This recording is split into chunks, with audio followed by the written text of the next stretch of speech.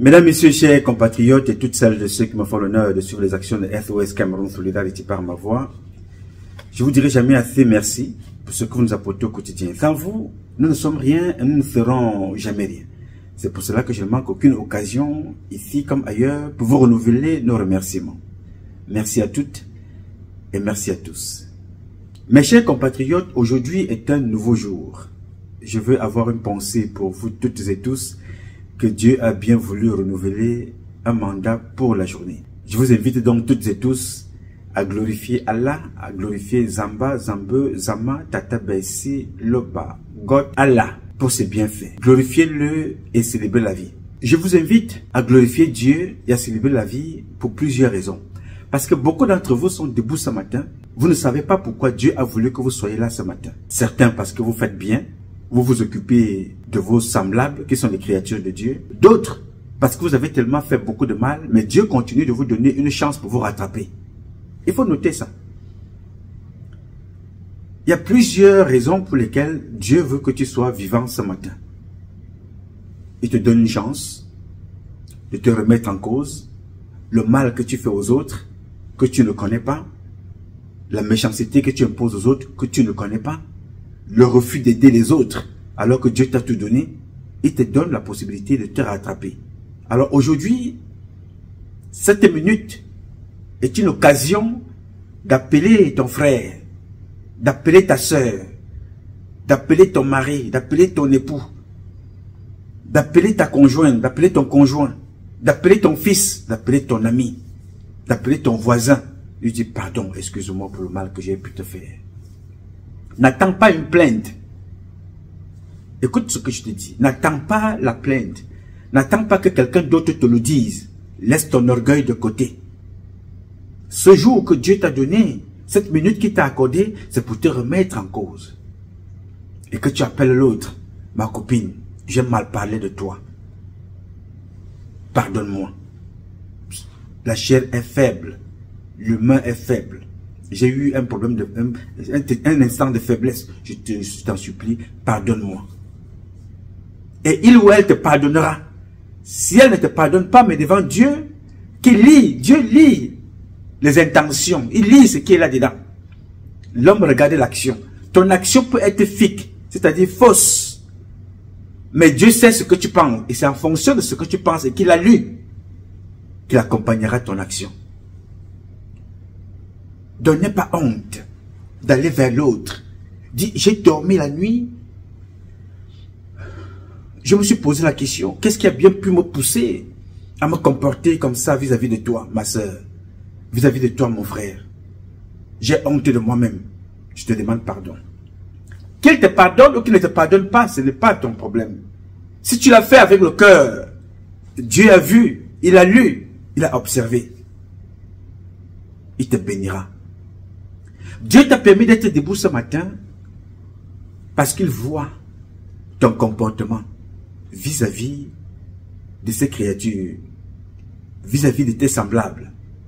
Il a pris les jours de vie sur certaines personnes, les a ajoutés dans ta vie. Il dit, ma fille, je te bénis. Et quand il te bénit, il te bénit pas seulement avec les mots, il te bénit avec l'action en te prolongeant sur cette terre, prolongeant les jours de vie, tes jours de vie sur cette terre. Alors, toute personne qui est vivante aujourd'hui, elle est vivante au moins pour deux raisons. Pour te rattraper du mal que tu fais et demander pardon et changer. Et pour continuer à faire le bien que tu as appelé à faire et Dieu te prolonge. Pour ceux qui sont malades, Dieu accompagne la santé de chacun au fur et à mesure, chaque jour, il te bénit. Parce que si tu as le souffle de vie, sache que l'espoir est au bout. Ne perds pas espoir. Voilà donc les raisons pour lesquelles le Tout-Puissant veut que nous soyons debout ce matin, que chacun se remette en cause, que chacun se pose les bonnes questions. Je vis pourquoi Quel est mon intérêt de vivre? De détester ma mère? De détester mon père? Beaucoup d'entre vous ont jeté leur maman dehors, ici aux États-Unis. Arrêtez ça. Je reviendrai vers vous le moment venu. Ta maman t'a fait venir ici. Tu es venu, tu arrives, tu es devenu trop grand. Tu lui manques le respect. tu l'insultes. Ou tu as fait venir ta maman ici, tu as une femme à la maison qui déteste ta mère, tu prends ta maman, tu la jettes dehors. Fais attention mon frère. Fais attention ma soeur. Fais très très attention. C'est aussi vrai que certaines belles-mères ne sont pas faciles. Mais fais attention. Il y a une certaine façon de ramener des choses en ordre. Je sais qu'il y a certains beaux-pères qui ne sont pas faciles. Je le sais aussi. Mais il y a certaines façons de manager. Nous ne sommes pas ici chez nous. Quand tu mets ta maman dehors, pour quelque raison que ce soit, tu veux que Dieu te regarde comment? Quand tu jettes ta belle-mère dehors, ou tu pousses ton, beau, ton, ton mari à détester sa mère, ou tu pousses ta mère, ta femme à détester sa mère, vous pensez à quoi?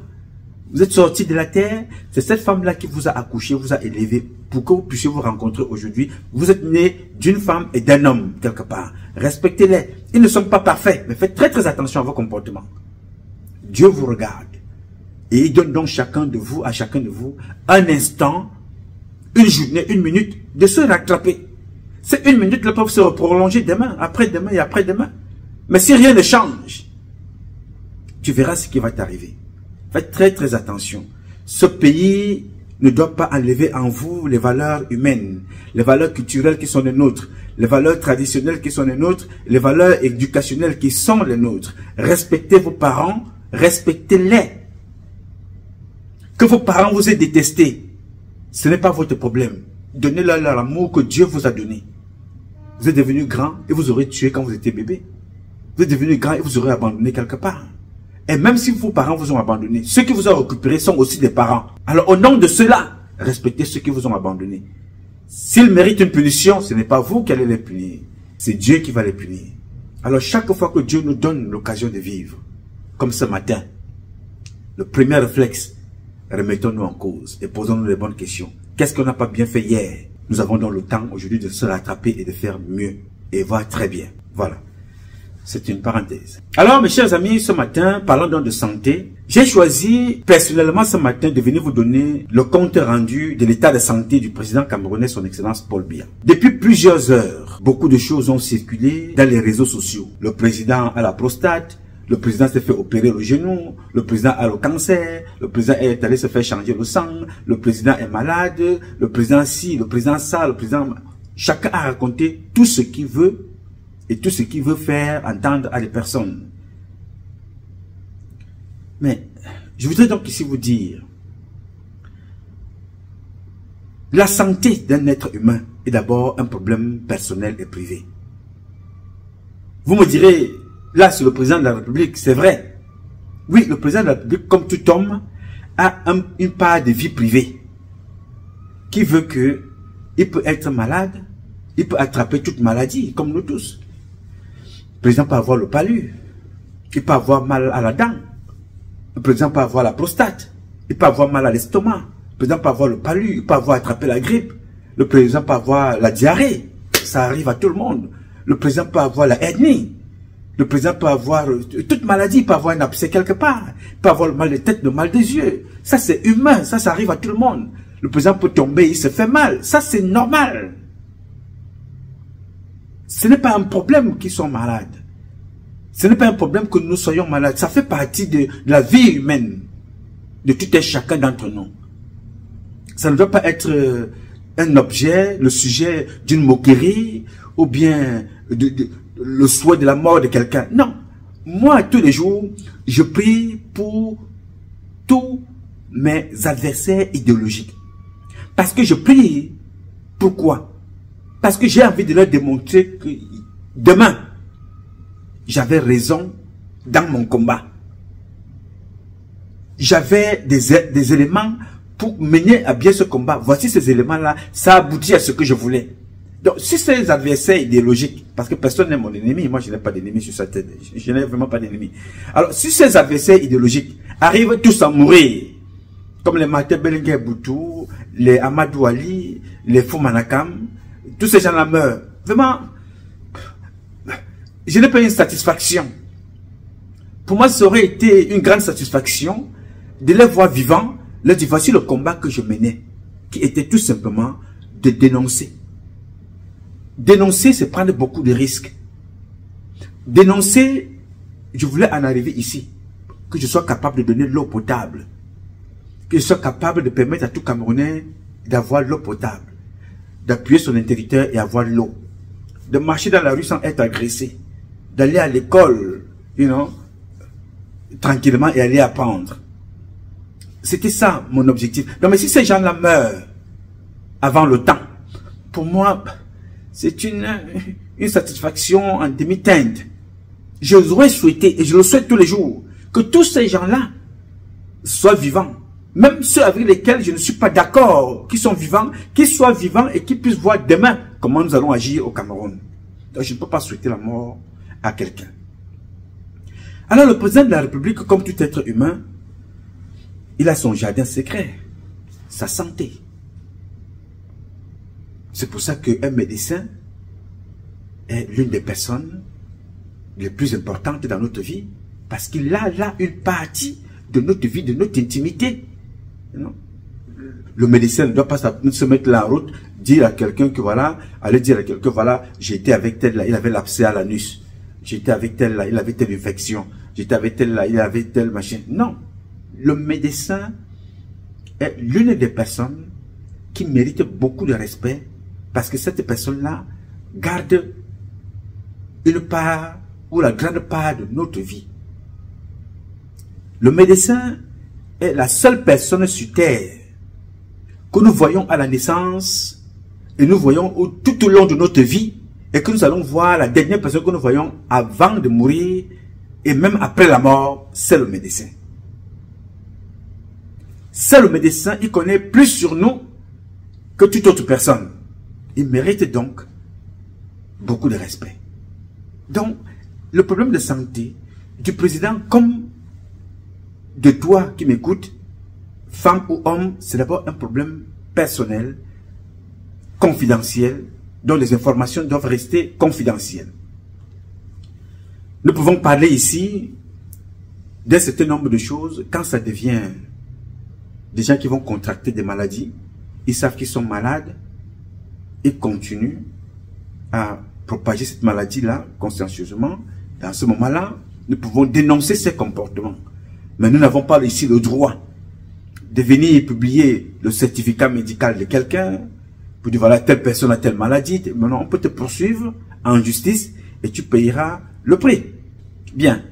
Concernant la maladie du président de la République, le cas de Paul Biya, vous savez que monsieur Paul Biya, le président du Cameroun, notre président, a fait de sa vie un mystère. Il a fait de sa vie un mystère. Personne ne connaît la vie du président de la République. C'est bon d'un côté et c'est mauvais aussi de l'autre côté. C'est bon pourquoi? Parce que certains papas, comme dans nos familles, rarement le père va montrer à ses enfants qu'il est malade. Parce que le papa est un héros pour nous.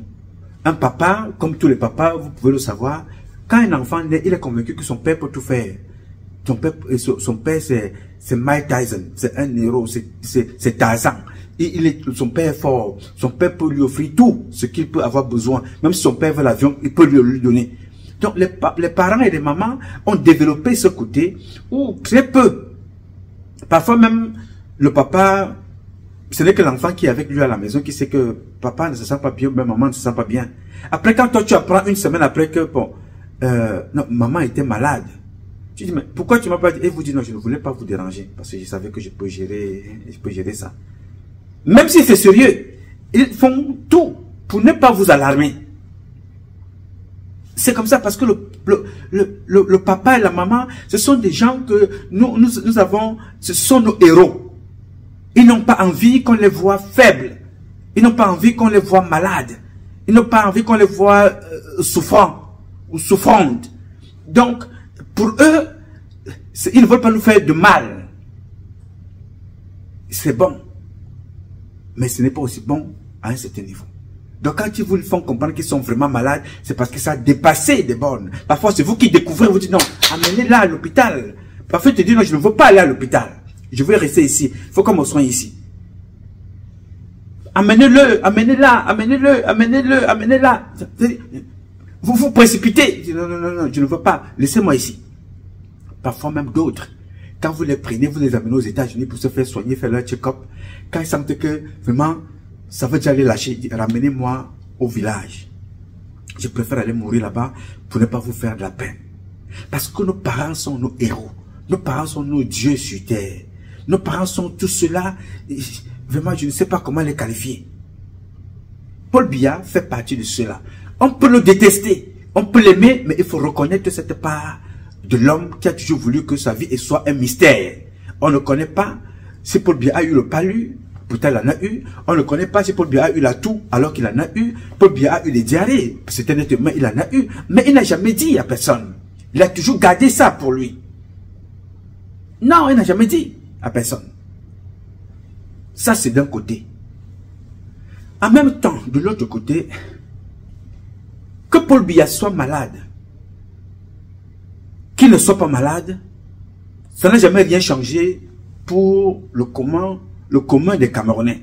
On a toujours le même problème, que Paul Biya soit malade, on manque d'eau potable, on manque d'électricité, nous sommes en insécurité, nous vivons mal, nous sommes abusés, nous sommes humiliés, nous manquons d'emploi, nous manquons de tout. Que Paul Biya soit malade ou pas malade, nous avons les mêmes problèmes. La seule chose qui importe à Biyabé Vondor, c'est il te nomme quand il veut, son entourage il traficote euh, ce qu'ils veulent, c'est les nominations, c'est les arrestations quand on veut, c'est ses voyages. Voilà ce qui intéresse Paul Biya. Ok. Voilà le mauvais côté de, you know, de Paul Biya dans sa maladie ou bien dans sa santé. Au, au niveau des Camerounais, ça ne change absolument rien. Qu'ils soient malades, ou qui soient en santé, nous sommes victimes des mêmes problèmes dans notre pays, le Cameroun. La souffrance, la souffrance, la maltraitance, les humiliations, les arrestations abusives, la corruption, la méchanceté, les crimes, le vol, le mépris. Nous sommes victimes de tous les maux. Ça ne dérange pas le président de la République, même quand il est en santé ou quand il est malade. Mais nous, comme nous avons une éducation des Bantous, des Africains, nous sommes éduqués. Nous demandons que, commençant par moi ici et toutes celles de ceux qui se reconnaissent dans le combat que nous menons, que si le président de la République est malade, comme nous l'avons appris ça et là, nous lui souhaitons bonne guérison, qu'il retrouve la santé et que le Tout-Puissant le grand architecte de l'univers, l'appelle à ses côtés quand tu te verras nécessaire. Nous souhaitons le plus tard possible. Moi, je le souhaite le plus tard possible. Je souhaite que le président de la République me reçoive dans son village un jour, que je vienne, que j'aille prendre des conseils pour la gestion du Cameroun, la gestion politique. Que j'aille lui dire, papa, ce que tu n'as pas pu faire là, nous avons réussi à le faire. C'est aussi ça le rôle d'un père, qui ne peut pas tout faire. Et nous devons donc aller un peu plus loin, là où le Père n'a pas pu faire, nous sommes appelés à le faire. Et il faut qu'il soit vivant pour le voir. Il faut qu'il voit ce que son fils Franck n'a pas pu faire, que toi tu as fait. Toi qui n'es pas son fils direct, biologique. Il faut qu'il sache qu'il ne t'a pas fait confiance. Mais par le temps, avec le temps, que le nom de Dieu, tu as su faire ce qui ne t'a pas donné la chance de faire.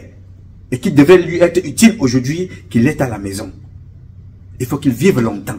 Il faut qu'il vive longtemps et qu'il puisse voir ce que il n'a pas pu faire se réaliser parce que vous l'avez fait.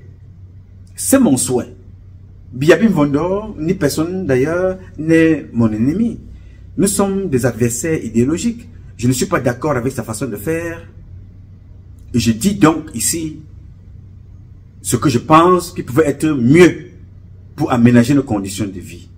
Et ce que je dis là, a coûté la vie à Bibi Ngota, a coûté la vie à Jules Koumkoum, a coûté la vie à Charles Tebeyene, a coûté la vie à Onambele Zibi, a coûté la vie à Jean-Marie Benambala, a coûté la vie à Oum à Ernest Wandi, à Laurent Momier. Je suis le porteur d'un relais, d'une volonté. Le relais apporte la volonté de ce que nous voulons être. Nous souhaitons être, vivre libre, essentiellement libre, dans un pays où le sang des nôtres a été versé parce qu'il veut rechercher la liberté. Donc je porte le flambeau, je porte ce relais, je porte ce drapeau du combat de la liberté. Et cette liberté-là, c'est la liberté d'expression, la liberté de vivre, la liberté de penser, la liberté de choisir, la liberté de partager, la liberté d'aimer.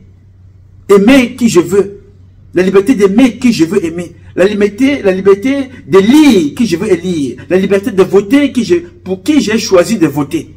C'est ce combat-là, tout simplement. Et pour le dire, beaucoup ont perdu la vie. Pour le dire seulement, beaucoup ont été jetés en prison. Pour le penser, beaucoup ont été éliminés de l'espace public. Ce n'est pas un moindre combat, ce n'est pas un petit combat. Donc nous souhaitons bonne guérison au Père Bia. Et aussi à toutes celles de ceux qui sont malades, qui retrouvent la santé, où que vous soyez. Nous avons tous besoin de tout un chacun pour que nous soyons en santé, pour que nous puissions vivre normalement, et que nous menons cette vie, ce combat, à son terme. Et que chacun de nous puisse être un homme libre et vivre de sa liberté. Yes. On peut détester le président de la République, c'est une institution qui a mal géré notre pays. On peut la détester, mais respectons le père Bia qui a le droit à la vie. Personne n'a le droit de ôter la vie à quelqu'un. Et toute personne qui l'ait fait, qui a réussi à ôter la vie à l'autre, payera le prix le moment venu. Oh oui, que ce soit directement ou indirectement, payera le prix. Le président de la République doit savoir qu'aujourd'hui, s'il est malade, lui, il est soigné à l'extérieur. Au Cameroun, il y a des gens qui meurent parce qu'ils ne peuvent pas acheter la Nivaquine. Je souhaite donc qu'il guérisse pour que je puisse construire des hôpitaux demain. Que je lui dis, papa, je ne te demande pas ton argent, c'est l'argent que le président de la République devait gérer à partir des biens que Dieu a mis à notre disposition. Nous avons construit des hôpitaux. L'un des meilleurs hôpitaux au Cameroun, qui soigne les malades, est aujourd'hui à la capitale la nouvelle capitale du Cameroun. Monsieur le Président, vous êtes invité à venir l'inaugurer. Comme le font les anciens présidents aux États-Unis, ils invitent les autres. Comme font les anciens présidents en France, ils invitent les autres. Vous allez inviter le président de la République du Cameroun. Même s'il est sur une chaise roulante, il viendra, il aura les honneurs dus à son rang de président, les honneurs dus à son rang de papa, qui a accouché des enfants, et ces enfants-là ont décidé d'aller plus loin que ce qu'il n'a pas pu faire. C'est le combat que nous avons amené au quotidien et chaque jour. Alors c'est pour ça que je lui souhaite bonne guérison. Qu'il retrouve la santé, qu'il rentre dans son pays. Le président a échoué, mais un père n'échoue jamais.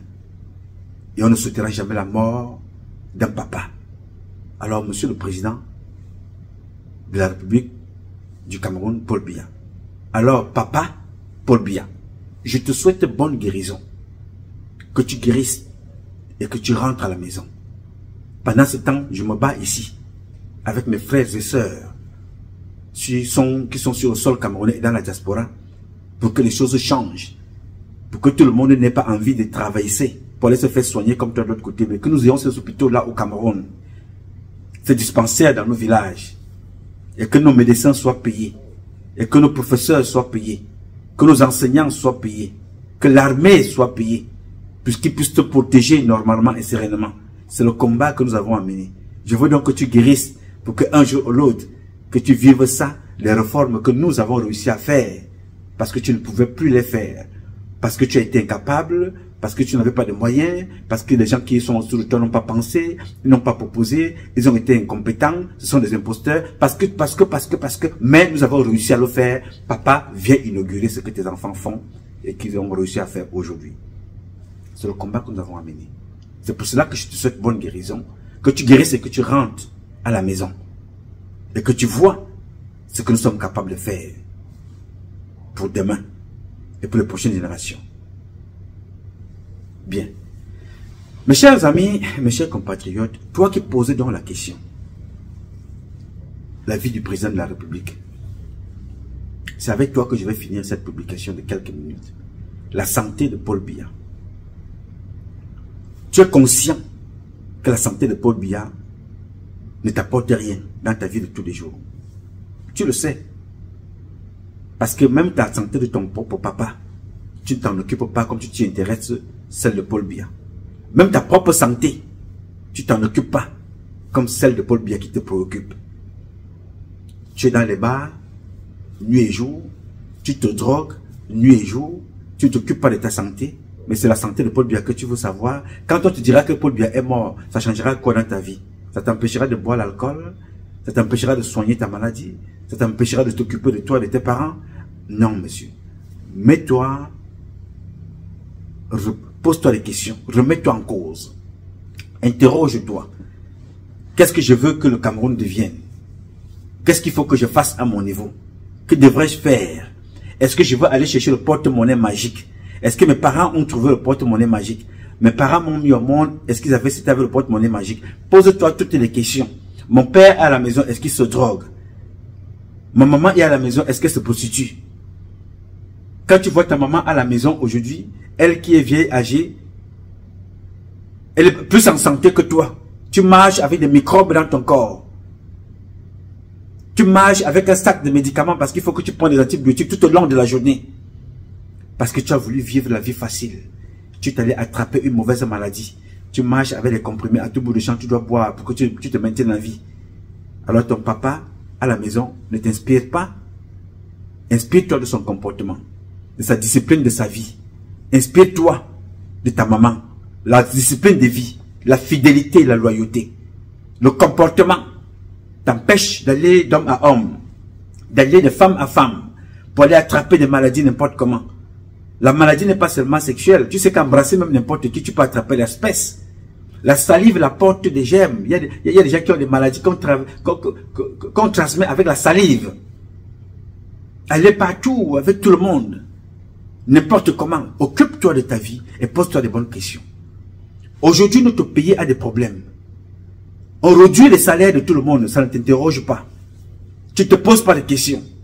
On réduit les salaires des enseignants dans ton propre pays. Ceux-là même qui accompagnent notre quotidien de la naissance à ta vie professionnelle. Ce sont des professeurs, ce sont des enseignants.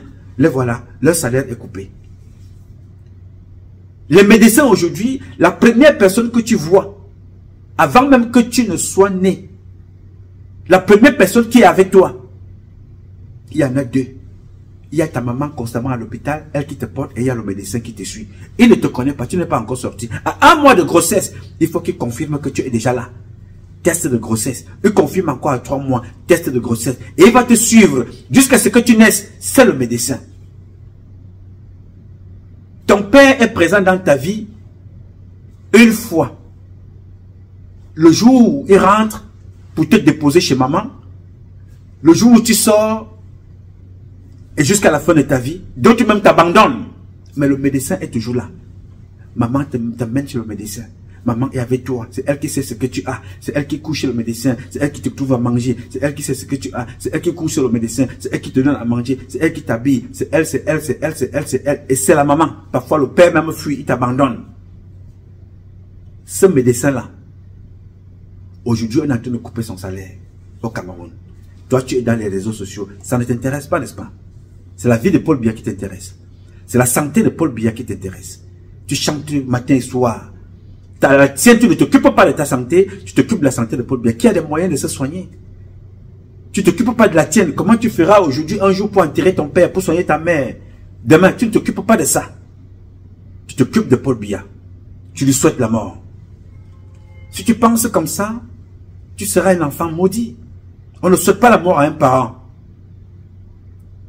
Voilà les, enseignants. Voilà les médecins. On coupe leur salaire. Voilà les gens qui sont appelés à te sécuriser. Les militaires, retraités, après avoir connu tous les théâtres de guerre. Les militaires sont aujourd'hui, on enlève leur salaire. On réduit leur salaire. On recherche quoi? On recherche la guerre et elle va arriver. Je ne la souhaite pas, mais elle va arriver. Ils font tout pour mettre les gens sous pression. Comment les gens peuvent travailler pendant 10 ans et n'ont pas de salaire? 3 ans, ils n'ont pas de salaire. 4 ans, ils n'ont pas de salaire. Mais on prend l'argent, 2 milliards, 5 milliards, 10 milliards, on donne au football. Le football, c'est qui? Et toi, ça ne te dit rien. Tu ne t'indignes pas. Tu ne te poses pas de questions. Tu ne te poses pas de questions, n'est-ce pas? Mais c'est la vie de Paul Biya qui t'intéresse. Alors fais très très attention, mon petit. Fais très très attention, ma petite. Nous avons un enjeu colossal dans notre pays, celui de le relever. Pour le relever, il faut reformer vos mentalités. Apprendre à se préoccuper des choses importantes. Apprendre à se préoccuper de ce qui est important pour ta vie. Sachant que ce qui est important pour ta vie l'est inconditionnellement pour la vie de l'autre. Ne passe pas ton temps à aller insulter l'autre. T'occuper, l'autre, la, voilà telle, la photo de tel, avec son bébé, la photo de tel, voilà, celui-là portait un costume, ça a coûté tant, toi ton costume a coûté un dollar. Après ça, vous allez vous poser la question, on n'a pas de l'eau potable. Vous faites quoi pour que nous ayons tout ça? Vous faites quoi pour contribuer au développement du Cameroun? Vous faites quoi? Je ne sais pas. Vous êtes content de, voyager, d'aller au Canada? Allez vous filmer devant les immeubles. Allez vous filmer devant les, édifices publics au Cameroun. Mais vous êtes les mêmes personnes, vous combattez Paul Biya, mais vous vénérez certains de ces ministres qui viennent vous donner un dollar, comme les Kecha, Célestine. Vous les vénérez, vous êtes avec eux tous les jours, comme les femmes d'Ongo. Alors que ce sont les gens qui ont pillé la République et exposé Paul Biya, que nous croyons aujourd'hui qu'il a échoué en tant que président. Mais ce sont ces ministres-là, tous. Les sécurités au Cameroun relèvent de qui? Les sécurités là, aujourd'hui où tu ne peux pas marcher comme ça, on te vole, on te poignarde, on te tue. On t'enlève, on demande la rançon. C'est qui? Ces gars-là, c'est Toga. C'est Galax et Toga. C'est la faute à qui? De Bargangele.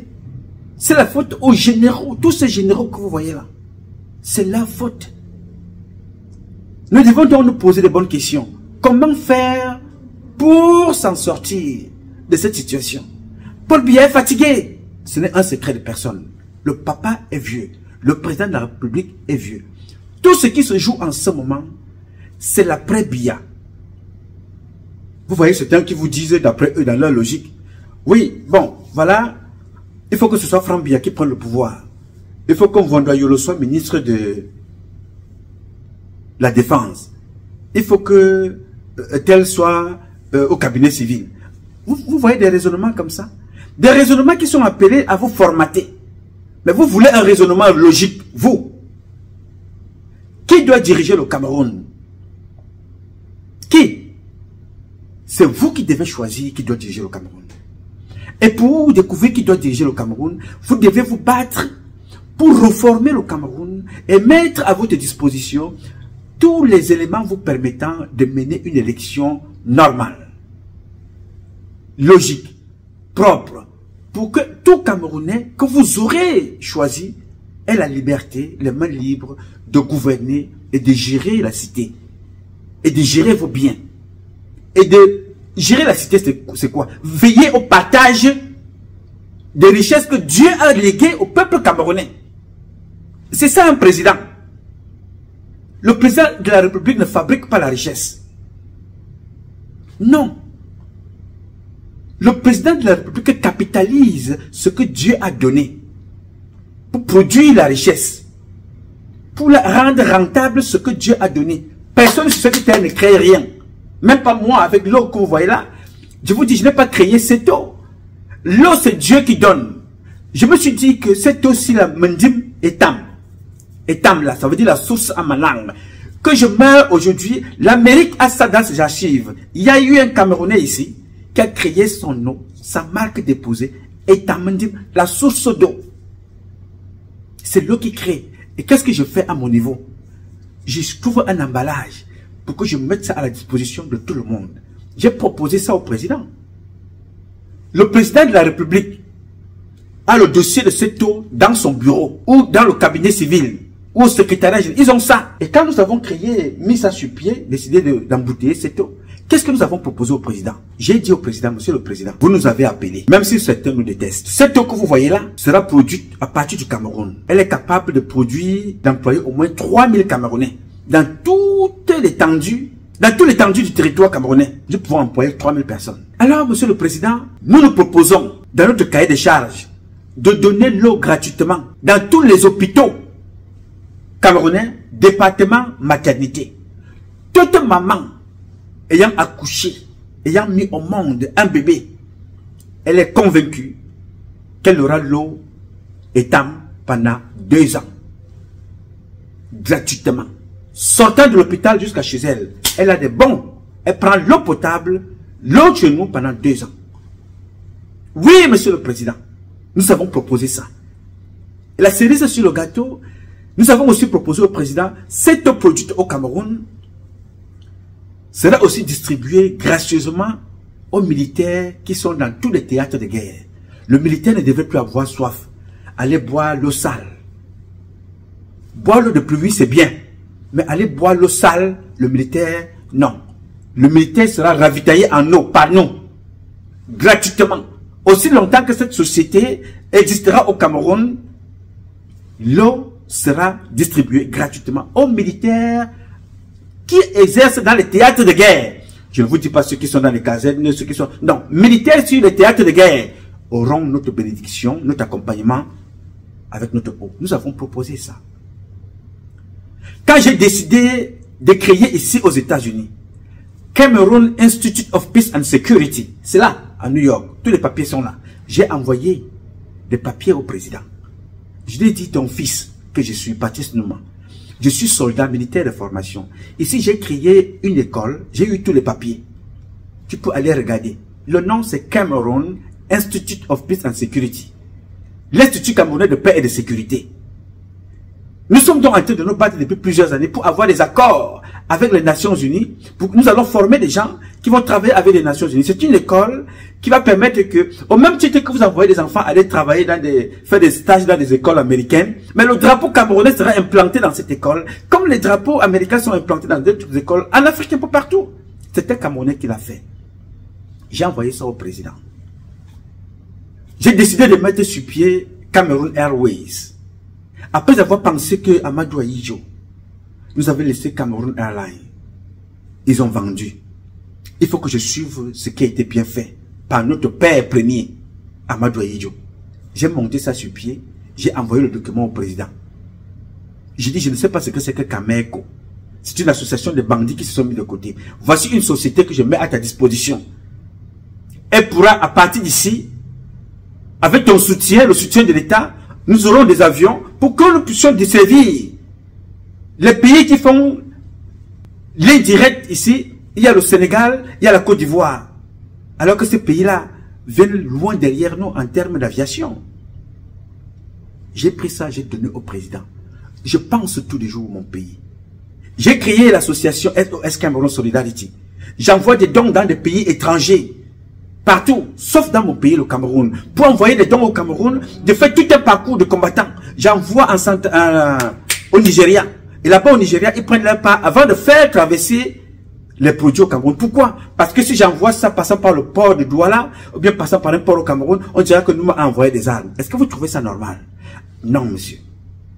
Toutes ces choses-là, je me bats tous les jours pour que ça change et pour que le président comprenne là où il a échoué en tant que président, parce qu'autour de lui, il a eu des petites personnes qui ne pensaient qu'à leur intérêt. Penser que nous a envoyé des choses au quartier, au Cameroun, ça, réduit l'aura de certaines personnes. Pour cela, il faut qu'il tue Nouma. Pour cela, il faut qu'il raconte tout et n'importe quoi. N'est-ce pas? Moi, ici aux États-Unis, avec mes amis, nous avons distribué ici pendant toute la période du Covid des millions et des millions de repas des savons, des trousses de toilettes. Pendant deux ans de Covid, ça a été fait ici, par nous autres. Donc n'importe quel individu peut se lever et raconter sa vie, ça, ça l'arrange. Mais nous, nous faisons ce qu'il nous revient de faire pour l'intérêt de la masse et pour répondre à ce que Dieu attend de nous. Soyez aux côtés des miens, qui sont aussi les vôtres, vos semblables. Et ça, je le fais tous les jours. Je n'attends pas ton avis. Je n'attends pas l'avis de quelqu'un. Je fais ce que je trouve être bon pour moi. Moi, les gens m'ont aidé à Paris. Le père Nancy Pierre. Le bien d'Ajuel. Tous ces noms que je vous cite là sont bamileke. Mais les gens qui m'ont essayé de me détruire dans ma vie sont aussi les bêtis dont je suis originaire. En tant qu'un gars du centre. Est-ce que je regarde tous ces gens-là? Ça ne m'intéresse pas.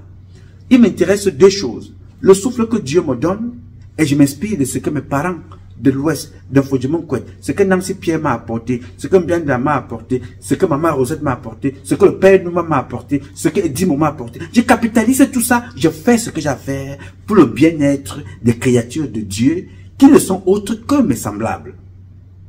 Si je ne bénéficie de rien, aujourd'hui, mes enfants vont bénéficier de ce que vous avez fait, de ce que vous ferez, de ce que j'ai apporté comme contribution. C'est comme ça qu'il faut voir la vie. Alors battons-nous. pour que le Cameroun change. Je ne suis pas pour une élection. Je vais le dire et je vais le redire et je vais le répéter. Mais je respecte ceux qui se battent pour aller à une élection. Mais je reviens avec une conclusion en disant, 7 mandats, 42 ans, et que vous n'avez même pas, ce n'est pas vous qui votiez, qui avez décidé de l'élection de Paul Biya. Ce sont les faux agents de Transparency International, avec la complicité de tous ces, tous ces ministres. Je considère donc que le processus électoral dans mon pays est biaisé, il est faux. Je me bats donc pour deux choses. Une transition au Cameroun. Une transition concertée. C'est-à-dire qu'on va s'asseoir, on va se dire, ok, le Cameroun a atteint une certaine maturité. Asseyons-nous, appelons le père Soukoujo, appelons Cléda, appelons les, intellectuels camerounais que nous connaissons. Parce que nous connaissons les vrais Camerounais. Il ne faut pas les Camerounais d'imposteurs qui parlent dans les réseaux sociaux et dans les médias au Cameroun. Nous connaissons les vrais. On les appelle. On dit, asseyez-vous là. Vous avez trois ans pour reformer le Cameroun. Le conseil exécutif, d'un côté, et l'assemblée constitutionnelle. Voilà ça. Trois ans, reformer le Cameroun, et vous ressortez de là avec les institutions réformées. On réforme la, forme du Cameroun. On ne sait pas qu'est-ce que c'est que le Cameroun aujourd'hui. Un Cameroun uni, un Cameroun république, ou un Cameroun république, euh, république ou un Cameroun euh, euh, du tribalisme. Il faut donc reformer ça, donner une forme au Cameroun. La forme, c'est quoi? La République fédérale du Cameroun. Permettre au Cameroun de devenir une fédération, comme le Cameroun l'a toujours été, à deux États, mais aujourd'hui nous aurons peut-être huit ou dix États. Vous allez décider cela. Reformer la constitution camerounaise. Reformer la constitution camerounaise. Reformer les institutions camerounaises. Reformer le code électoral. Reformer le code pénal réformer, introduire nos langues dans notre constitution. Que nous soyons capables de parler au moins cinq langues dans les bureaux, que ce ne soit plus le, bilinguisme bêtis, que ce soit au Cameroun aujourd'hui, le bêtis et le, français qui sont, qui forment le bilinguisme. Non! Le français et l'anglais vont rester des langues administratives. Mais on retrouvera, you know, le foufoudé quelque part. À l'ouest, on trouvera une, une des langues de l'ouest que nous allons prendre. Vous mettez, c'est vous qui allez décider de tout ça. Vous décidez également, moi je ne suis pas pour la double nationalité. Non, je suis pour la multiple nationalité. Parce que nous avons des Camerounais aujourd'hui qui sont Camerounais, qui sont Allemands, qui sont Espagnols, qui sont exactement comme des Juifs. Le, Juif qui a moins de nationalités a au moins cinq nationalités. Donc on accepte la multiple nationalité. Vous allez donc réfléchir également quel est le statut que vous allez donner aux enfants qui sont nés des parents camerounais, mais qui sont nés aux États-Unis. Quel statut vous les donnez? Comment feront-ils pour devenir camerounais? Quel processus aborde? Tout ça doit faire partie de notre constitution. Il faut le penser maintenant pour que ça puisse être utile d'ici 500 ans, depuis you know, aussi longtemps que les enfants vont vivre sur Terre. C'est à vous de le penser. C'est à vous de le savoir. C'est à vous de le mettre sur pied. Et pour le moment, vous ne pouvez pas le mettre sur pied aussi longtemps que ces gens vont s'asseoir sur place, penser que pour eux, il faut contrôler le pouvoir. Si Paul Biya part, il faut que les bêtis gardent le pouvoir. Je ne suis plus que, et je ne suis pas pour, qu'un bêtis prenne le pouvoir après Paul Biya. Je reprends ça en français facile. Tout bêtis ayant travaillé avec Paul Biya aux affaires, qui a contribué à l'échec de ce président, je ne suis pas pour qu'il prenne le pouvoir mete college mete kola anu mine wo re melo même porniquer hein? Je parle avec la bouche pour que tu comprennes avec les oreilles. Je ne suis pas pour qu'un Betty ayant travaillé avec Paul Biya prenne le pouvoir après Paul Biya. Parce qu'il a contribué à l'échec du président Paul Biya. Je ne suis pas pour quand l'un de mes compatriotes venant de 10 régions du Cameroun, faisant partie du club des bêtisiers, qu'ils soient de l'ouest, du nord-ouest, du sud-ouest, de l'est, du sud et du centre, prennent le pouvoir alors qu'il a été là dans la destruction du peuple camerounais pendant 42 ans. Je ne serai pas pour. Je veux que toi, dans la diaspora, tu deviennes président du Cameroun. Je veux que toi, au Cameroun, tu deviennes président du Cameroun. Où que tu sois. Parce que tu as eu le temps de regarder les échecs, les imperfections. Tu as eu le temps d'étudier. Mais pour que toi, tu aies la capacité de devenir président parce que tu es bassa, il faut que tout ça soit reformé. Pour que tu sois libre d'avoir ton parti politique. Pour que tu sois président au Cameroun parce que tu es bamiliqué, il faut que tu sois libre. Il faut que tu sois libre parce que tu es un anglophone d'aller voter, de voter pour qui tu veux, sans intimidation. C'est le combat que nous avons amené. Et pour atteindre ce niveau-là, il faut donc d'abord détruire tout ce qui nous a amené là où nous sommes pour reformer. C'est pour ça que je ne suis pas pour les élections. Et je ne serai jamais pour les élections avec ce système. Mais tout en respectant ceux qui sont pour les élections. En leur démontrant la limite que hier, vous avez dit que Paul Biya a volé les élections. Depuis 2018, vous avez été président élu pendant 7 ans sans exercer le pouvoir. Pourquoi? Parce que Paul Biya a volé les élections. Et c'est vrai, il a volé les élections. Mais qu'avez-vous fait après? Vous l'avez accompagné avec des petites phrases. Sept ans plus tard, vous revenez sans rien réformer. Je ne peux pas être d'accord avec vous. Je vous prends en ce moment-là comme you know, un opposant de pacotille. Et je répète encore, chaque fois qu'on fait dans la généralité qu'il n'y a pas d'opposant au Cameroun, il y a toujours des exceptions. Et l'exception se reconnaît. Toi qui m'as posé la question, tu as fait un commentaire sur ma page, je te réponds en passant. Chaque fois que vous allez entendre quelqu'un parler de généralité, il n'y a pas de règle sans exception. Je ne veux pas t'apprendre le béaba ici. Ok? Donc, apprenez à vous poser des questions. Pour votre intérêt, l'intérêt de votre communauté, l'intérêt de vos idées, l'intérêt de vos convictions. Posez-vous des bonnes questions et apportez des bonnes réponses. Elles ne vont pas être acceptées par tous ou par toutes, mais il faut, elles, auraient, elles auront là le mérite d'avoir été posées et d'avoir été proposées. Vous vous posez des bonnes questions, vous proposez des réponses. Qu'on accepte, qu'on n'accepte pas, soyez fiers. N'allez pas vous attaquer à la personne, attaquez-vous aux idées de la personne. Ceux qui soutiennent Paul Biya, ils ont totalement raison. Ceux qui soutiennent le RDPC, ils ont raison de soutenir la vache à lait. Ceux qui sont dans l'opposition ont raison de l'être. Mais dans les deux cas, ce sont les personnes ou ce sont les idées que représentent les personnes. Moi, je pense aux idées des personnes. Donc, je voudrais donc te dire ici, au lieu de passer ton temps à insulter Eto, et à s'attaquer à Eto parce qu'il a été sanctionné par la FIFA et que ça te fasse plaisir, moi, ça ne me fait pas du tout plaisir. Samuel Eto est victime de la mafia. La même mafia qui a utilisé Samuel Eto pour jeter Iya Mohamed en prison. C'est la même mafia qui va détruire Samuel Eto aujourd'hui. Et cette mafia-là a des tentacules partout. Parce que l'être humain est devenu corruptible. Même la FIFA est corruptible. Tout être humain est corruptible. Ceux qui n'ont pas compris les vraies valeurs. Donc on peut corrompre la FIFA pour détruire Samuel Eto'o. Ça ne me fera pas plaisir. Pas du tout. Je vais être en désaccord avec Samuel Eto'o à la maison. Dans sa gestion, ça reste en famille. Je lui dis, frère, comme tu parles là, ces gens-là vont prendre ta vie. Je l'ai dit il y a 10 ans. Je l'ai dit il y a 5 ans. Je l'ai dit il y a 3 ans. Je l'ai dit tous les jours. Et je le dirai tous les jours. Aller rejoindre ces gens-là, c'est prendre ta vie, c'est pour aller contribuer à leur apporter une popularité qu'ils ne méritent pas. À détourner l'attention du peuple parce qu'ils ne mettront jamais à disposition, à ta disposition des moyens pour que tu reformes. Parce qu'ils se disent que tu es venu là-bas, parce que c'est eux qui ont décidé, tu es venu par nomination, pas par élection. Alors comme tu es venu par nomination, ils disent qu'ils ont le droit de te dicter ce que tu devrais faire. Et pour cela, tu vas les suivre.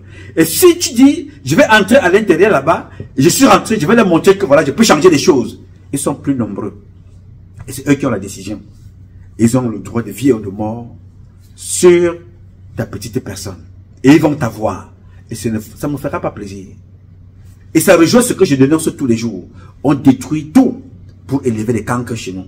Je ne serai donc pas fier de ce qui arrive, mais j'aurais eu le mérite de l'avoir dit au départ que jeune frère, ils sont mauvais. Ah non, ouais, ils vont te tuer.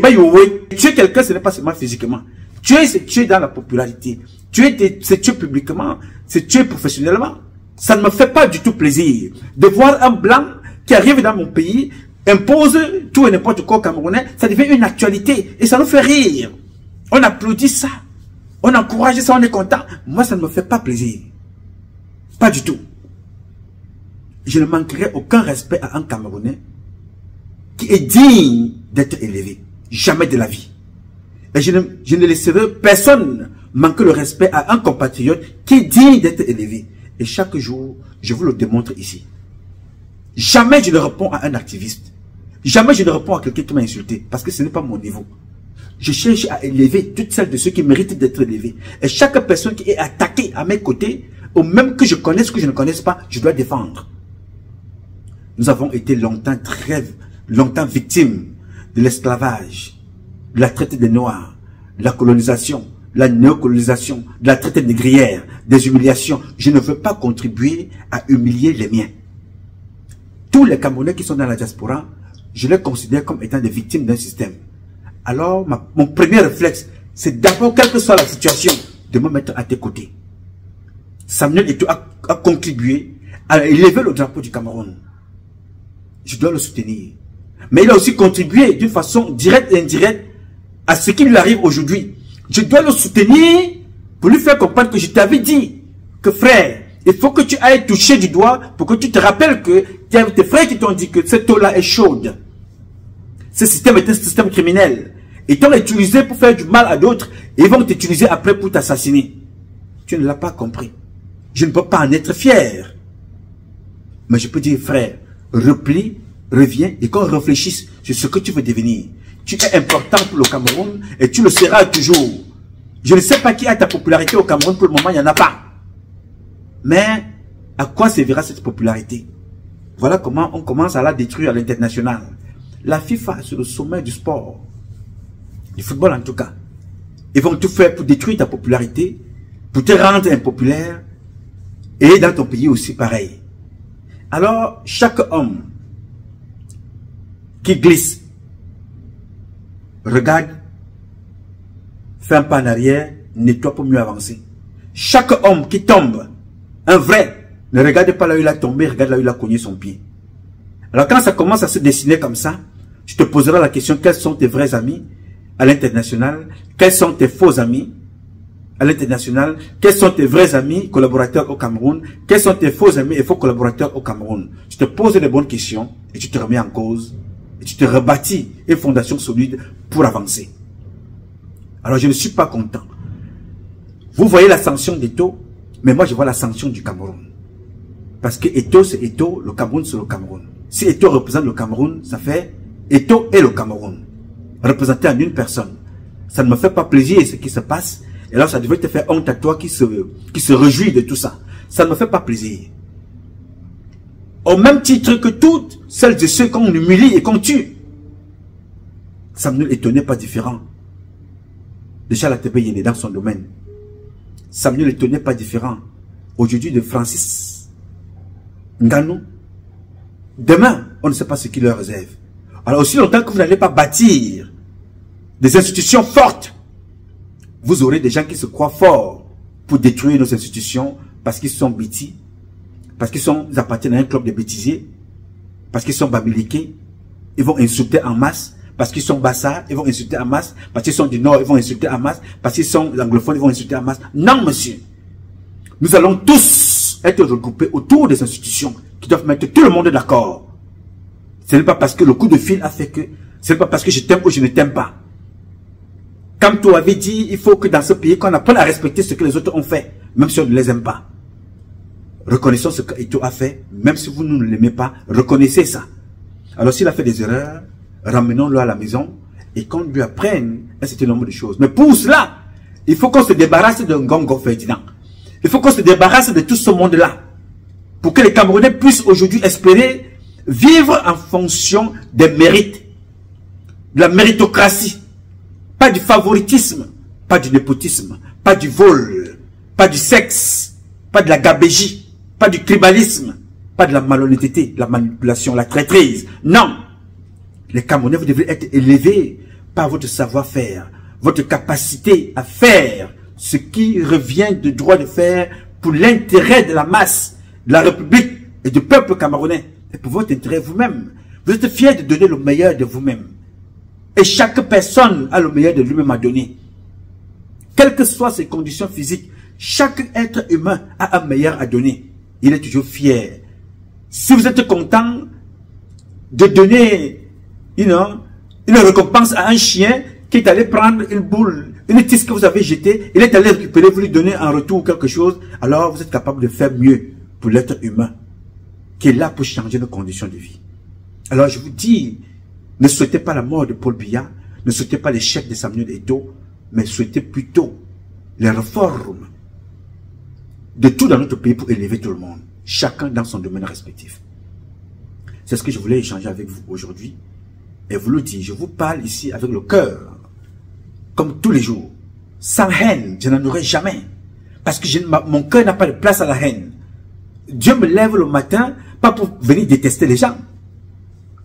Dieu me lève le matin pour affronter les gens et voir dans quelle mesure je peux leur être utile. Partager ma joie de vivre. Partagez ce que je sais. Vous parlez, je sais qu'aujourd'hui, beaucoup préféreraient aller dans le Congo ça, mais vous dire que vous méritez mieux. C'est ça ma mission, c'est ça mon rôle. Et je le ferai aussi longtemps que Dieu me donnera la force et le souffle de vie et la santé. Et je vous invite à être pareil. J'ai dit. Mes chers compatriotes, ce combat est un combat de tous et de chacun pour un intérêt commun.